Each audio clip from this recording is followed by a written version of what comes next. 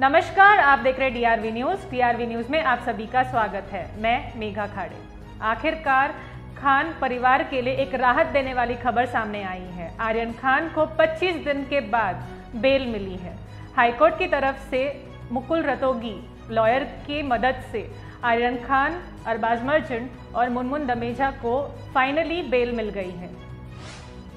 Bombay high court ने आर्यन खान को जमानत पर रिहा करने का आदेश दिया। आर्यन खान के साथ ही इस मामले के दो अन्य आरोपियों, अरबाज मर्चेंट और मुनमुन दमेचा को भी कोर्ट ने जमानत दे दी है। मुकुल रोहतगी के अनुसार आर्यन, अरबाज और मुनमुन तीनों को जमानत मिलने के बाद कल या परसों रिहा किया जाएगा।